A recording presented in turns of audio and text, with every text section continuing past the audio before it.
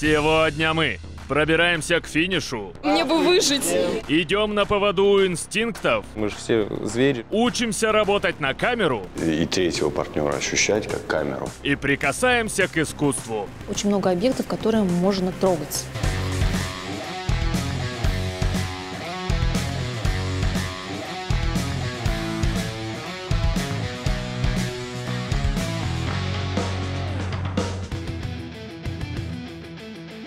Свистать всех на старт. Остров в заливе Иртыша окружили пираты. Сегодня гонка все-таки называется по островам на абордаж, посвящена пиратской тематике. Поэтому в последнее время я пытаюсь соответствовать. Когда бежишь не очень быстро, можно бежать в таком наряде. На старт! Марш! Бегуны, любители и профессионалы решили испытать себя и взять на абордаж дистанцию в 7 километров по рыхлому весеннему снегу. Сегодня утром думала, божечки, я опять вот на это вписалась. Зачем я побежала? У меня уже сейчас ощущение, мне бы выжить.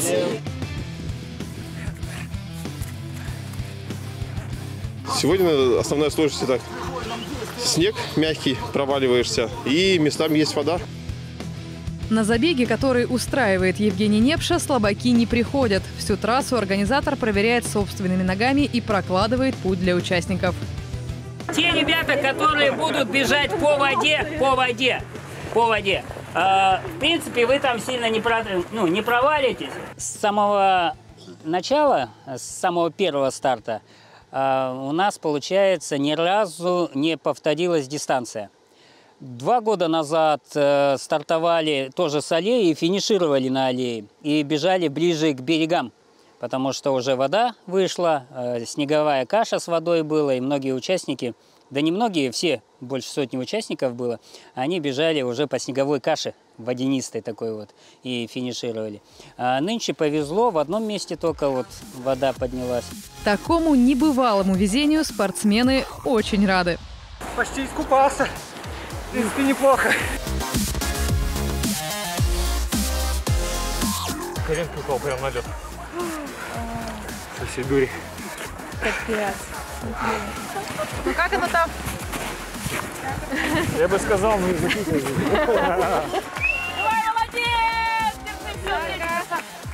В награду всем, кто дошел до финиша, уважение, медаль и победный клич.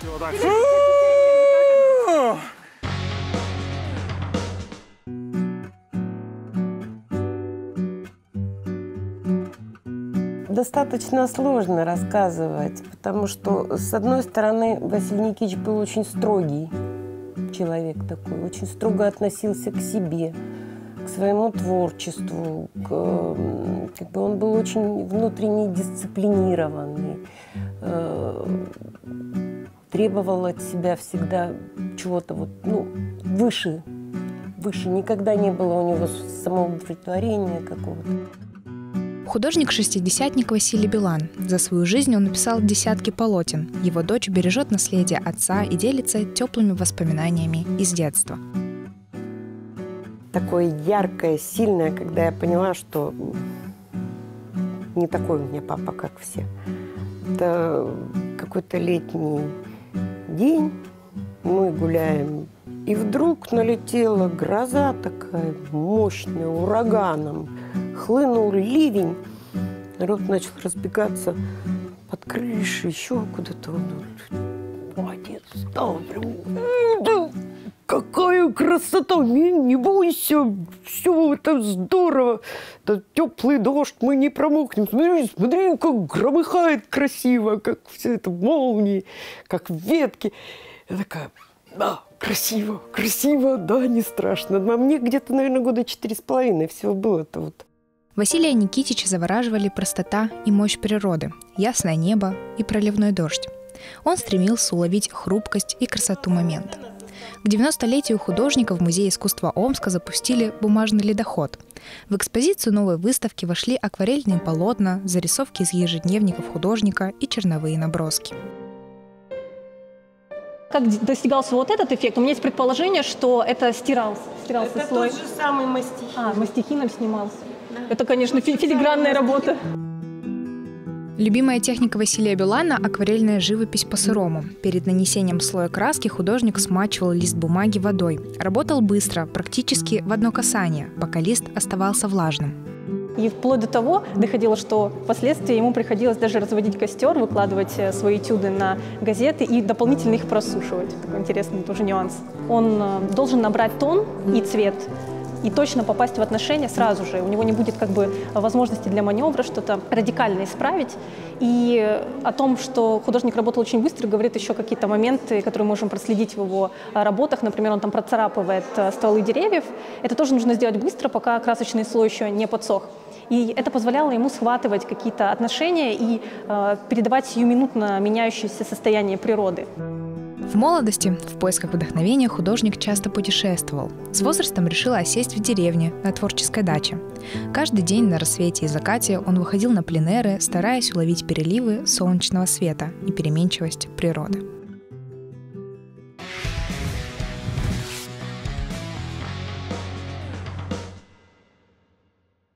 Музыкант с кризисом веры в себя. Мужчина, влюбленный в бывшую подчиненную, пенсионер, решившийся продать семейный сад. Сюжет разных пьес на сцене омской драмы переплетает режиссер Петр Шерешевский.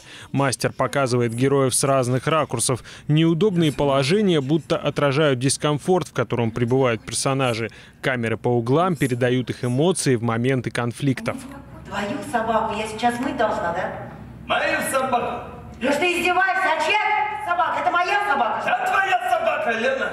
Моя собака, твоя собака, твоя собака, моя собака. У нас есть собака, Лена. В какой-то момент подключились камеры, и там, конечно, появился момент такой, э, ну, я бы не то чтобы сказал мешающий артисту там драматическому, но непривычный очень, в том смысле, что ты помимо партнера должен еще понимать, что тут как бы с какого-то ракурса тебя еще смотрят, и тут уже нет такой свободы в какой-то э, там, двинуться туда, как-то пересесть, то ты уже начинаешь и, и третьего партнера ощущать как камеру.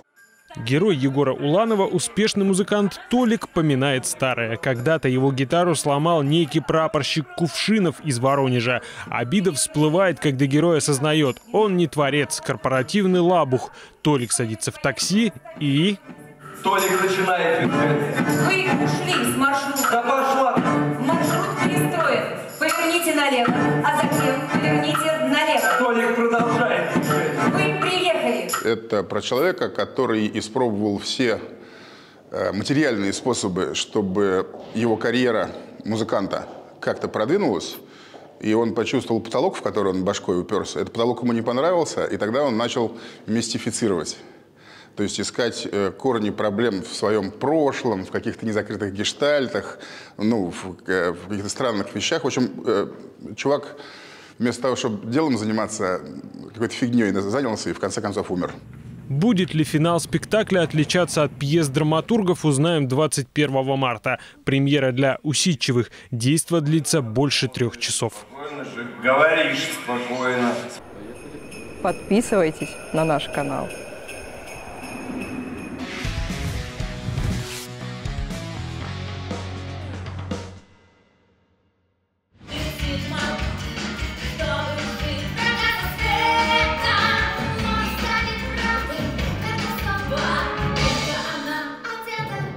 Опасные связи вот-вот увидит зритель. История мюзикла в Омске началась с осеннего кастинга. К репетициям приступили в январе. В то же время балет начал изучать свои партии. Главных героев готовят сразу два состава артистов. Танцорам балета замены нет. Им приходится выдерживать восьмичасовые репетиции.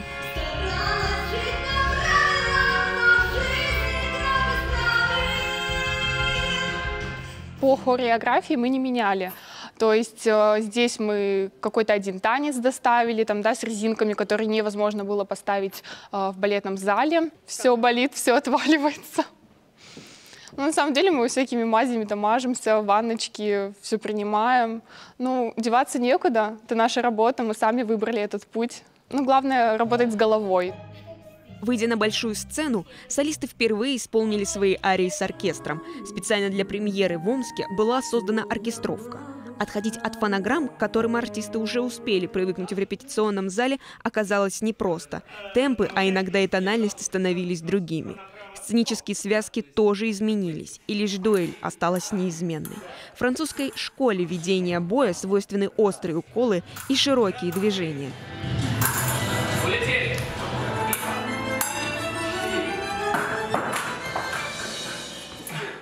классическом театре, музыкальном, а, в основе своей идет красивое фехтование. В балете, в опере мы красиво ходим со шпагами, там прикоснулись, разошлись, прикоснулись, разошлись. А тут, конечно, было посложнее. Потому что главное не поубивать, во-первых, этого маленького Дансини, который бегает со шпагой напротив тебя, а во-вторых, проследить, чтобы не убить балет. Здесь эмоция, а рука такая отпустили. Что-то где-то сработало на, наверное, на инстинктивном уровне. Мы же все звери. Для зрителей театр начинается с вешалки. Для Ильи Склярова – с обуви. Работу над ролью он начинает с походки, а с пошивочным цехом приходится дружить, чтобы костюмчик сидел.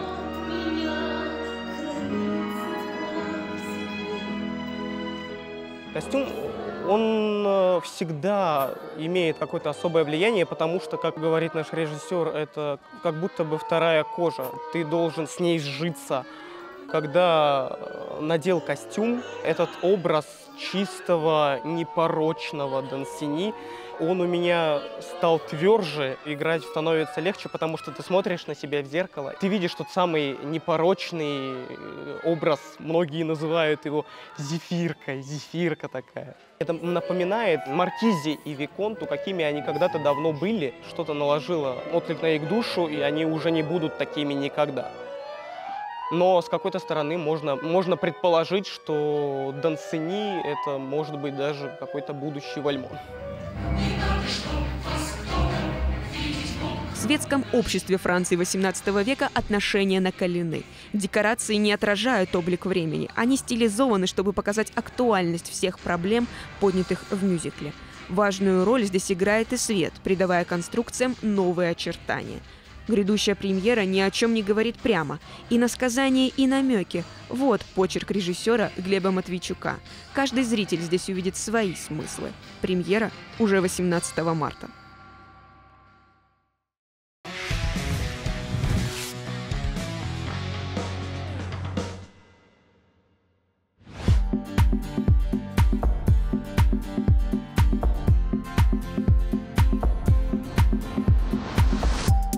Фондах Музея искусства Омска масштабное пополнение.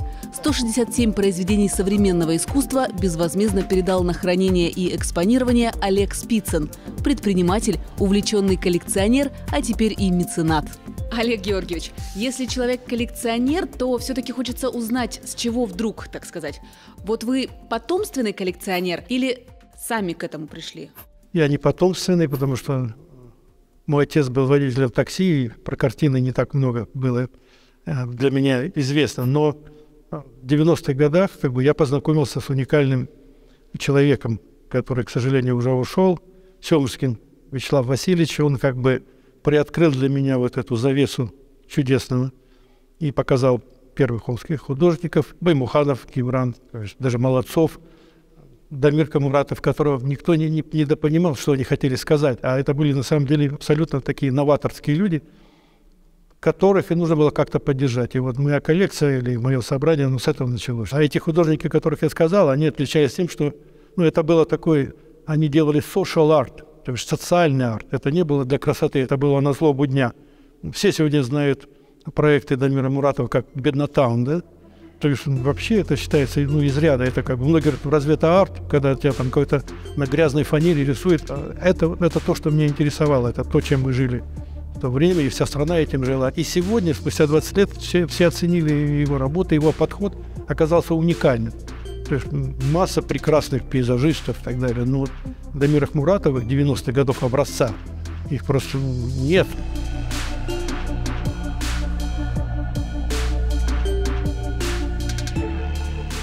Баймуханов, если посмотреть, вот там мы видим, картинки стоят, он показывает вот, соборы еще в заброшенном состоянии.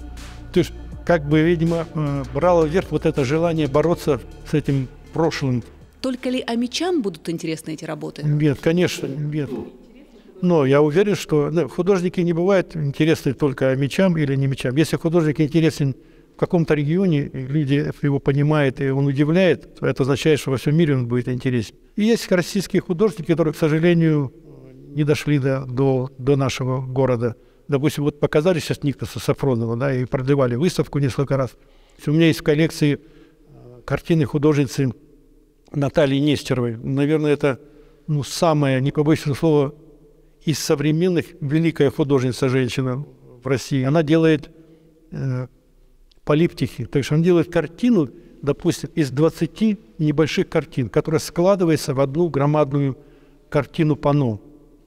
Допустим, она рисует там симфонический оркестр чуть ли не в полную величину. Это надо видеть. Это работы там 10 на 5. Вот такие размеры. И вот таких авторов, конечно, желательно показать в Омске, потому что э, очень очень русская живопись и в то же время очень интернациональная, потому что у нее такой замес мировой. Как бы. Это уровень художника, как, как Илья Кабаков. Вот она входит в эту знаменитую десятку Кабаков, Комар Беловед, Косолапов.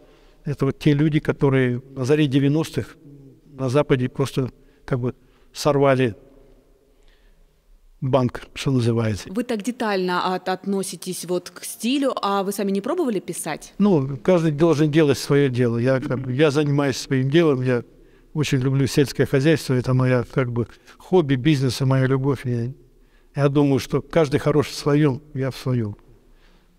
Живопись это как бы высокая, для этого нужно иметь не только, не только руки, не только глаза, и голову. Потому что это же это другое. Особенно, когда я сказал про руки, я сразу вспоминаю Сашу Капралова, нашего скульптора великого. Могучий, могучий художник, не просто по его арту, даже внешне такой мужик такой, да. Я получаю громадное удовольствие от общения с ним. И вот у него, у него и руки, и мозги. То есть мы же видим, что он делает, да. Ну, кто немножко далек от производства, допустим, бронзу ее отливает, делает мастер пис, из нее отливает потом. А Саша же варит каждую работу один раз. Потому что все его работы, они сделаны в первый и последний раз. Другой нужно сварить заново, не снимает копий. То есть особая ценность художники. Это точно так же, как Микеланджело делал мрамор. Это всегда одна фигура и делается один раз. Вот Капралов – это наш умский Микеланджело. Поддержка вот этих художников, которые на этом этапе тяжелом сами не могли выжить. Это была философия всего моего, моего проекта. Мои картины и коллекции абсолютно не инвестиционные. То есть перепродавать, продавать это, во-первых, не мое, второе, ну, кому нужна социальная живопись, да? Ну, все дома хотят быть красивые. Но музеи, они предназначены для социальной живописи, которая рассказывает, что было, что есть и что надо делать.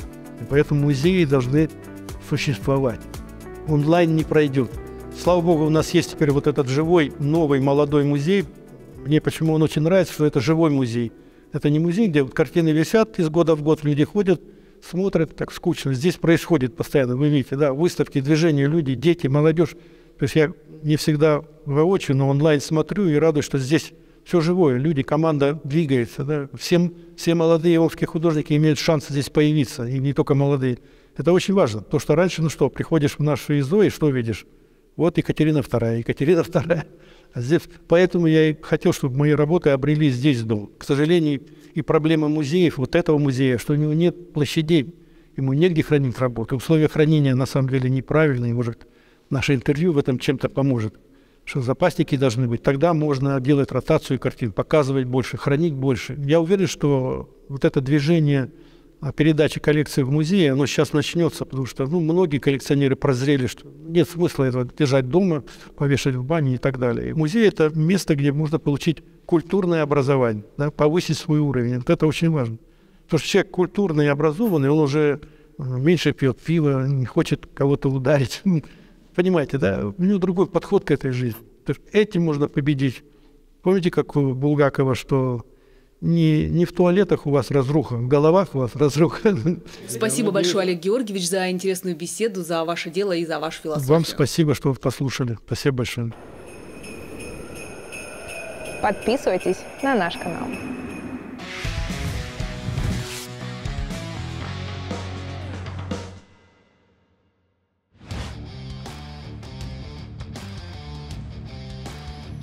Новосибирск разбит. Впереди новый соперник – Магнитогорский «Металлург». В день этой тренировки, открытой для болельщиков и журналистов, «Авангард» еще не знает, с кем встретиться в полуфинале, и потому игроки омской команды делают аккуратные прогнозы на будущее. Сейчас все будут играть от ножа, я думаю, агрессивно, побольше силовой борьбы, поэтому надо быть готовым ко всему. Каждому из вариантов надо быть готовым. Все, что произойдет, чтобы было, не было такого, что они что-то новое предпримут, а мы этого не знаем. Сейчас все эти будут видео просматриваться и будем досконально изучать все полностью. На подготовку к будущему сопернику у ястребов было 6 дней. Времени, чтобы подлечить раны и полноценно встать на крыло, делятся хоккеисты, достаточно. Еще один плюс от почти недельной паузы – возможность поработать над ошибками. Первый важный момент – это дисциплина, поскольку слишком много было ненужных удалений у нас в серии Сибирью, и э, часть из них им ре ре удалось реализовать, а мы знаем, что ее автомобилисты Магнитогорска здорово действуют большинство, поэтому удаляться нам нужно как можно меньше и стараться избегать таких моментов. И второе – это играть по счету до конца матча, не упускать преимущество на последних минутах, потому что такое у нас также случалось э, в первом раунде, и вот этот компонент, он также будет играть большую роль. Первой игре нового раунда плей-офф «Авангард» не досчитается Богдана Киселевича. У защитника повреждения. Вместо него с командой тренируется Александр Угольников. Сыграет или нет, главный тренер Михаил Кровец не уточнил. Наша основная задача, чтобы ребята уже пришли э, в эту опять в ауру, в которой нужно быть готовым в любой момент играть, и чтобы они были готовы к серьезным играм. Я думаю, что, в принципе, это нам на тренировках удается сейчас сделать. Я не вижу э, людей э, безразличных. Все тренируются с полной отдачей. Первые матчи второго раунда плей-офф состоятся 17 и 19 марта на G-Drive арене. Соперником «Авангарда» будет «Металлург» из Магнитогорска.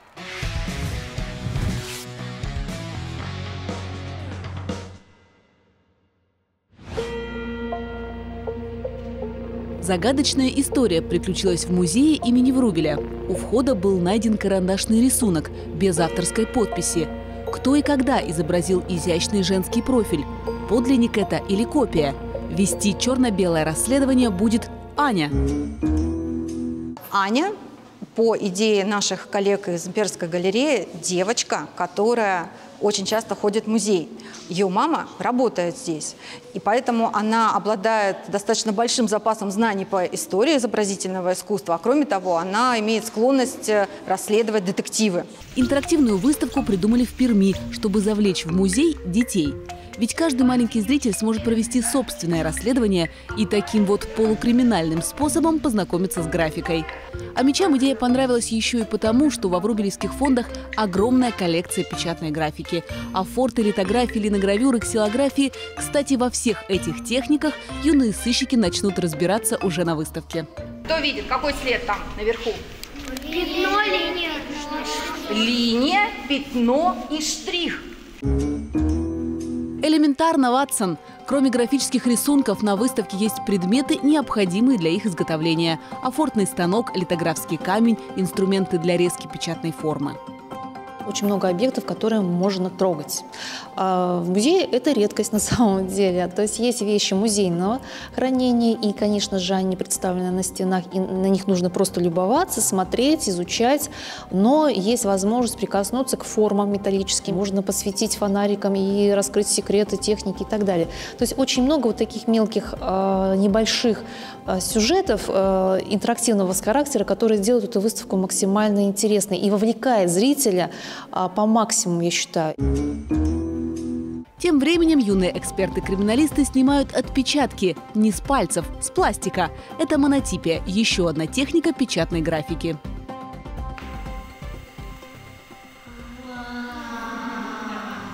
Графика, или точнее рисунок, это основа вообще всех видов искусства. Художник начинает именно с рисунка, с наброска. Если он даже задумал архитектурное сооружение, живописную картину, скульптуру, все равно мы начинаем с рисунка. И графика – это самый древний вид искусства, наскальные рисунки, и самый современный – компьютерная графика. Пока будущие Шерлоки выясняют, чьих карандашей профиль барышни, взрослые могут полюбоваться на подлинники Пабло Пикассо, Аполлинария Васнецова и других художников. Черно-белое расследование только начинается.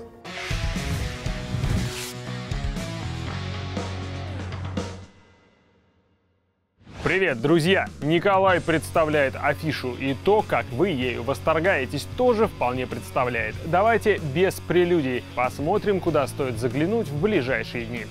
Настоятельная рекомендация вступать в опасные связи не со мной, с тайным обществом Парижа 18 века. Мюзикл по мотивам романа Пьера Шадерло де Лакло в музыкальном театре разрабатывали несколько месяцев. Швеи, постижеры, бутафоры, артисты, дирижеры и режиссеры мощно потрудились. Процесс создания можно отследить в наших соцсеточках, и будет за это вам счастье, дорогие маркизы с виконтами. В эти выходные хоккейный «Авангард» продолжит поход за Кубком Гагарина. В соперниках «Магнитка» — тот самый «Металлург», что отправил ястребов в незапланированный отпуск в сезоне прошлом. Ястребы отдыхали, лисы измотаны колесами автомобилиста, но все еще готовы хитрить. В воскресенье омские дороги меняют цвет. Одноименная группа выступит в одном из городских баров. Я, кстати, планирую пойти. Да простят меня Агутин и Варум, выступающие в этот день в другом месте. Все в моих руках. И я выбираю не слишком известный рок. И уже 20 марта перехожу на хип-хоп, рэп или чем нас балует дирижер Ростовской консерватории Василий Вакуленко. Широкой публике маэстро известен как Баста. Надеюсь, что в этот раз душа не будет болеть от потерь. Василий, застрахуйте нас от печали. Ну и в конце о бендингах. Это не тавтология, это саундтреки, под которые идут финальные титры в аниме-сериалах. Начинаются японские мультики опенингами. Самые знаменитые мелодии этого жанра можно послушать в музыкальном театре, если вдруг Баста не вдохновляет. А если вдохновляет, ставьте нам Лойсы, Джорджи Лукасы и не ведите себя так, будто подписки на наш канал не существует. Потратьте ваше свободное время с нами и помните, что Омск находится здесь.